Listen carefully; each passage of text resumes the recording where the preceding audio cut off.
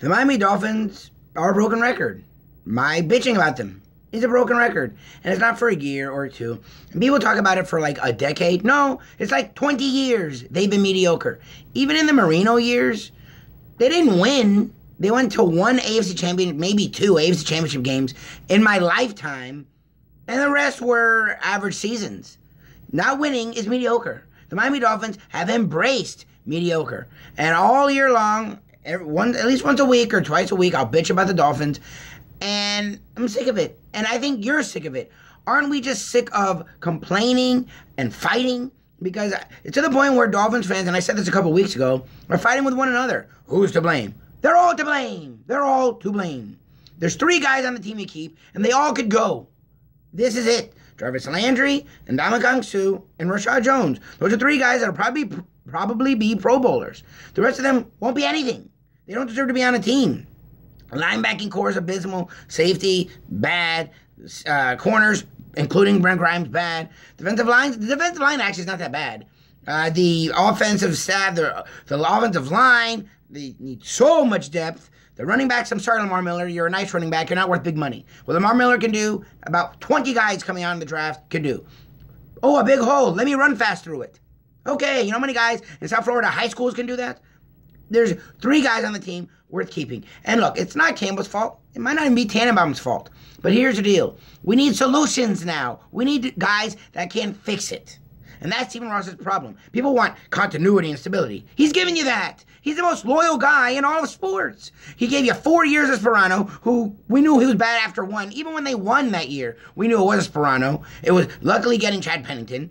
And Four years of Philbin, who we knew after two years. And we've now had four years of Tannehill. Well, if Tannehill has one offensive coordinator, know why they've changed the offensive coordinators? Because of Tannehill. He was so bad, instead of blaming Tannehill, they blame the coordinators. These are all guys that knew football. But Tannehill's our guy. We got to protect him. Why?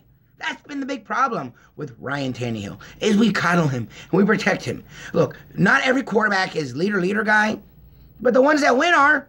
Aaron Rodgers may be a calm, cool guy. When he's around his teammates, he's leading them. Tom Brady's leading them. Peyton Manning, even Eli Manning on big drives is leading them. This was a crazy stat that scared the crap out of me. Jameis Winston, yes, my Jameis Winston is a rookie. At last Thursday, the beginning of the game was in his what tenth game, eleventh game, and you know what? Jameis Winston in his first eleven games had three comeback victories, and in that game brought them back from twenty-eight from 17 to 21 points down to almost win. Ryan Tannehill in four years, can you think of one time doing that? One? He can bring them back when they're down by a touchdown. So it's not just one guy's fault. It's a lot of people's fault. And if they win, that doesn't get fixed. If they finish 8 and 8, it doesn't get fixed. You know what fixes it? When you're 5 and 11. So I don't root for my team to lose for draft positioning because they don't draft well. I want them to lose so that they can blow it up top down. The winning organizations have one guy who picks his head coach, and that head coach picks his staff. And then that staff and the personnel guy work together to pick a team. That's what works. Not a Dawn Aponte and Mike Tannenbaum and then a head coach. And then you get rid of the coach, but you keep the GM. Get rid of the GM, but you keep the new coach. That doesn't work. Stephen Ross, I don't care where the hell you live. You got to get one plan and one mindset. And the Dolphins haven't had that for my entire life. It's time to change that. This is the Lube Toob.